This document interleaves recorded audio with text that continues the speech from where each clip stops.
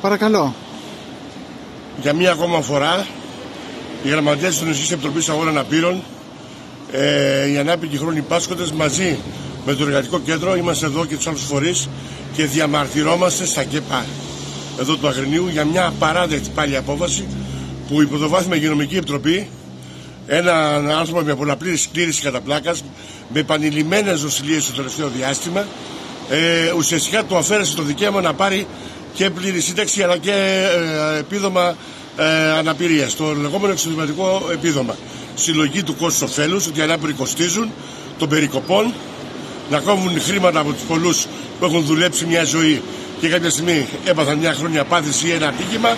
για να μπορούν κάποιοι να εξασφαλίζουν επιδοτήσεις για τη λεγόμενη ανάπτυξη για τους διάφορους επενδυτές.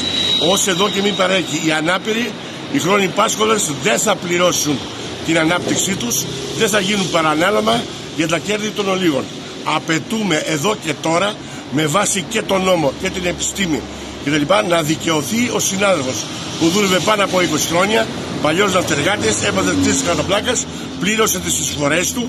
πλήρωσε τους φόρους όλα αυτά τα χρόνια και το κράτος αρνείται να το εξασφαλίσει με μια αξιοπρέπεια και μια ποιότητα να αντιμετωπίσει τη σοβαρή χρόνια πάθηση που έχει ο άνθρωπος.